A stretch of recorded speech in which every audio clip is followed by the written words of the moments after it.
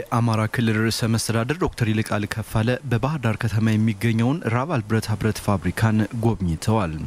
በህንዳውያን ባለሀብቶች የተቋቋመው ፋብሪካው ከሁለት ወራት በኋላ የግንባታ ብረቶችን፣ ምስማር፣ ቱቦ ላሬና የመሳሰሉ ምርቶችን በማምረት ለገበያ እንደሚያቀርብ የፋብሪካው የሰው ሀብት አስተዳደር ስራ አስኪያጅ አቶ መንግስቱ ወርቄ ገልጸዋል።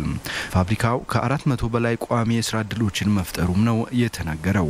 በ phase ተከፋፍሎ ነው እየተሰራ ያለው። አሁን phase two ላይ ነን ያለ ነው። ድርጅቱ አሁን ላይ እያመረተ ያለው የ billet ምርት ነው እያመረተ ያለው semi processed product ማለት ነው። phase ሁለት ላይ በቅርቡ ከሁለት ወር በኋላ ወደ commissioning ይገባና የሙከራ ምርቱን ለገበያ ያወጣል ማለት ነው። ፌሮ ብረት ነው፣ የግንባታ ፌሮ ማለት ነው። ሚስማር፣ አንጉላሪ፣ ቱቦላሪና ሌሎች ተያያዥ የብረታ ብረት ምርት ውጤቶችን በማምረት ለገበያ ያቀርባል። ቁርጥራጭ ብረቶችን በግብአትነት የሚጠቀመው ፋብሪካው በቀጣይ ግን በክልሉ ያለውን የብረት ማዕድን በማውጣት ጥቅም ላይ ለመዋል አቅዷል። ፋብሪካው በቀን 45 ሺህ ቶን የተለያዩ የግንባታ ግብአት የብረታ ብረት ምርቶችን የማምረት አቅም እንዳለውም አቶ መንግስቱ ገልጸዋል። በዋናነት ድርጅቱ የሚጠቀመው ግብአት ቁርጥራጭ ብረቶች ወይም scrap የምንላቸው ናቸው። በተለያዩ ክፍለ ሀገሮች በአራቱም ማዕዘናት የሚሰበሰቡ የቁርጥራጭ ብረቶች አሉ። እነሱን በዋናነት ይጠቀማል። በቅርበት ደግሞ በማዕድን ስራ ተሰማርቶ ዋና ግብአቱን ከማዕድን ለማድረግ ነው እየተንቀሳቀሰ ያለው። ከክልሉ መንግስት ጋርም በቅርበት እየሰራበት ነው ያለው።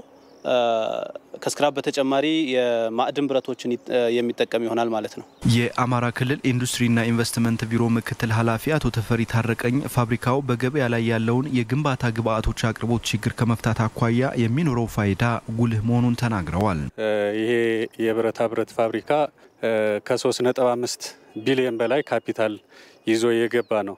ይሄ ፕሮጀክት በሙሉ አቅሙ ወደ ስራ ሲገባ አሁን ካለው semi processed ምርት ወደ የተሟላ የብረታ ብረት ምርቶችን የኮንስትራክሽን ማቴሪያሎችን በማምረት አሁን በሀገራችን ውስጥ ያለውን ከፍተኛ የሆነ የኮንስትራክሽን የግብአት ችግር የብረት ችግር በዋጋም በአቅርቦትም ያለውን ችግር የሚፈታ ግዙፍ ፋብሪካ ነው።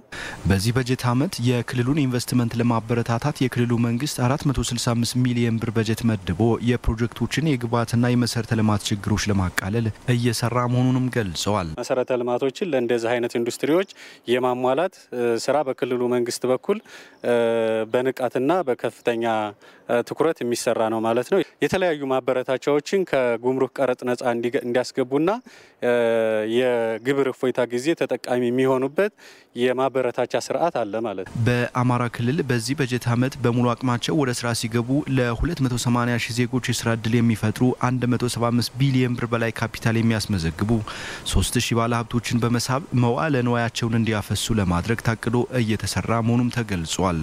ለኢቲቪ ይህነው ዋጋቸው ከባህር ዳር